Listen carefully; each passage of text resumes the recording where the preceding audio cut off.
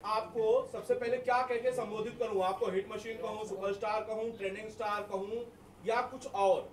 किस चीज़ को कह के, क्या कह के आपको संबोधित करूँ सर बस, आप अपना भाई समझ के संबोधित कर दीजिए। इससे ज़्यादा क्या हो सकता है? हम लोग शायद इस पे ज़्यादा खुश रहते हैं, क्योंकि यही नहीं मिलता है। बाकी चीज़ तो हर जगह मिल जाती है। फरिश्ता की एक प्रेस कॉन्फ्रेंस रखी गई है। इंतज़ार इस बात का था कि खेसारी लाल यादव आएँगे और ऑफिशियल रिलीज़ डेट जो है इसकी वो अनाउंस करेंगे। तो क्या ऑफिशियल रिलीज़ डेट है फरिश्ता थिएटर्स में? कब आ रही है? खेसारी भाई बताएँ। ये नौ तारीख को बिहार और झारखंड यूपी? सब जगह ऑल ओवर इंडिया ना? ऑल ओवर इंडिया तो ऑल ओवर इंडिया शायद नौ तारीख को रिलीज़ होगी। और होली के शुभ अवसर पे ही होगी क्योंकि दो दिन तो होली के हिसाब से तो आप तो जानते ही हैं कि होली में क्या होता है। तो इसलिए मैं नौ तारीख को शायद हम लोग ऑल ओवर इंडिया इसको रिलीज़ करेंगे। फरिश्ता आपके शब्दों में कुछ बताइए हमें। फरिश्ता की कहानी सच पूछिए तो तीन ही लोग जानते हैं। एक मैं एक श्रद्धा जी और एक अमित शुक्ला जी। और मैं ऐसा किरदार कर पाया तो मुझे लगता है कि इसमें इन दोनों का बहुत योगदान मिला मुझे। इतना सपोर्ट मिला इन लोगों का। कोई भी दुनिया में कलाकार तभी बेहतर कर पाता है जब सामने वाला बेहतर करता है। और ये लोग इतना बेहतर किए कि एक पागल का किरदार करना जो मुझे सब कुछ समझ में आ रहा है, लेकिन उसके बावजूद भी मुझे नहीं समझना है। ये बहुत कष्ट होता है। मुझे नाचने आता है, लेकिन मुझे अब बीट नाचना है। तो वो कष्टदायक होता है। और कोई भी चीज़ें ईजिली नहीं थी मेरे लिए। और फरिश्ता मेरे लिए एक चैलेंज था।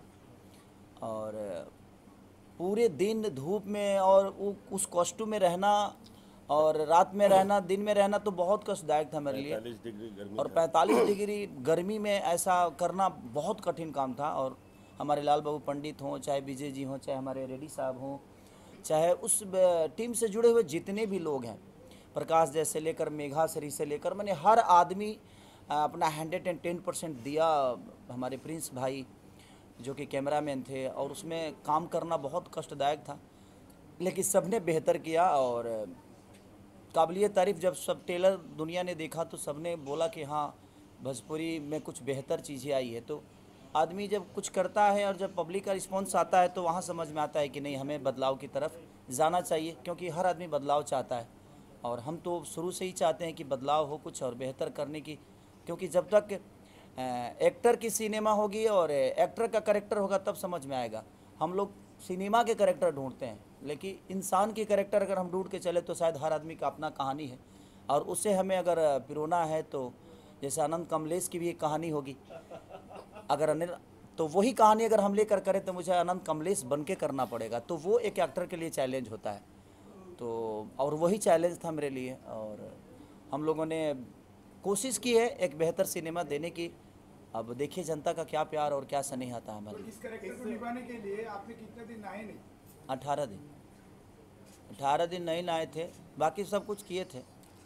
अठारह दिन नहाए नहीं थे खाली खिसारी सर ये जो पूरा ट्रेलर है लास्ट तक हमने देखा है लेकिन कहानी समझ नहीं आई कि भाई पहले क्या हो रहा है बात क्या हो रहा है। लेकिन कहीं ना कहीं एक सवाल उठ रहा है कि पिता बहुत ही बुरी तरह अपने बेटे को मारे जा रहा है बेटा पिता से बहुत प्यार किए जा रहा है। और कहीं ना कहीं इस रिश्ते को लोग अलग नज़र से भी देख रहे हैं कि क्यों पीट रहा है क्यों पीट रहा है आप बता सकते हैं। आप तो प्यार कर रहे हैं, तो मार देखिए नहीं देखिए एक बात बताऊँ ये ट्रेलर देख के समझ में आ जाता तो फिर फ़िल्म क्यों बनती? इसीलिए तो फ़िल्म बनाई गई है कि ट्रेलर्स में सब कुछ अगर हम समझा देंगे तो शायद फ़िल्म लोगों को समझ में नहीं आएगी। इसीलिए फ़िल्म है। और एक परिवार की कहानी है तो परिवार कैसे क्या होता है नहीं होता है और एक परिवार में क्या अहमियत होती है। दुनिया हीरोइन के लिए पागल होती है गर्लफ्रेंड के लिए पागल होती है। लेकिन वो आदमी किस लिए पागल है? अब सिनेमा दुनिया देखेगी तो शायद समझ में आएगा। और ये पहला ऐसा सिनेमा होगा इतिहास में जो कि आपको एक अलग नज़र आएगा और इसका पागलपंथी अलग नज़र आएगी सबको।